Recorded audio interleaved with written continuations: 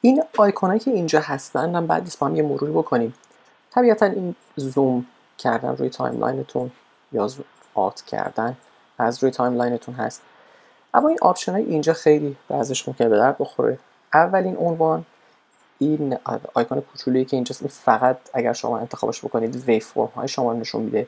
دیگه تصویر و thumbnail کلیپ هاتون رو اینجا نمی‌بینید. به طور مثال من اگه الان طول کلیپ هام رو یه ذره بلندتر بکنم. این آیکون اینجا فقط طول کلیپ هاست. فقط ارتفاع کلیپ ها رو کمتر یا بیشتر می‌کنه. حالا من اگر اینجا یه همچین ارتفاعی داشته باشم و این آیکون بغلی رو انتخاب بکنم تامنیلش رو اینجا می‌تونم ببینم. یا می‌تونم تامنیلش رو بزرگتر ببینم. اگر روی این آیکون باشه فقط شما وی فرم رو می‌بینید تامنیل های کوچیک تامنیل های بزرگتر thumbnail های خیلی بزرگتر. فقط thumbnail. حالا دیگه waveform رو نمی‌بینید. و این هم دیگه حداقل کردن فضای thumbnail. زمانی که فضای بخش timeline تون شما زمانی که timeline تون خیلی شلوغ میشه ممکنه این آیکون خیلی به دردتون بخوره. ولی دیگه سایزش رو شما نمی‌تونید تغییر بدید.